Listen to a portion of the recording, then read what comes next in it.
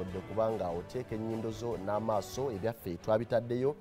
Mu ggwanga erya burkina faso bwe nabadde wano olunaku lw'ejjo nakutegeezezza nti nno waliwo olutuulo olw'enjawulo olugenda okutuula okusobola okulaba nga bazza embeera mu nteeko.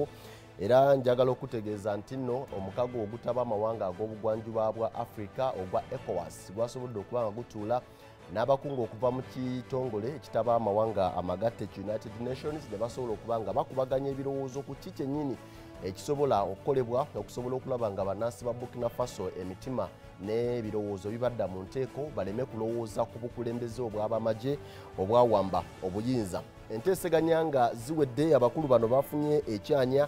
ne bagenda okulambula ku mukulembeze w'eggwanga omumamule rock mako kabore.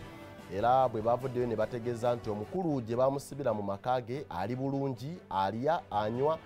n'olwekyo ebisigadde bajja kubitambuza mu ngeri endala wabula era ebyo nga biwedde bannamagye abawamba obuyinza mu ggwanga erya burkina faso abakulirwa lieutenant cano paul henry uh, sandaogo damimba uh, ne bavaayo ne bakakasa eggwanga nga bwe bazzeemu okutambulira ku mateeka oluvannyuma lwa sabiti namba nga constitution oba ssemateeka bamuweze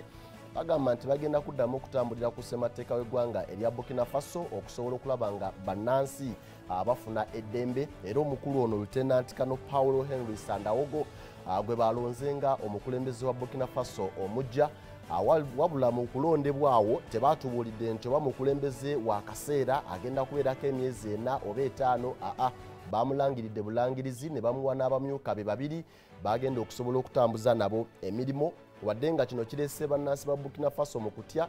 balowooza nti nno era noono agenda kubafugira mu mbeera ey'obusibira mu bbwa era ng'ayinza n'okutuuka mu maaso awo n'addamu n'aweera ssemateeka olw'ensonga nti yajja nakuwamba buyinza. Naye byonna tugenda mu maaso n'okuba nga tubyekennenya tulabe butya bwe binaatambula.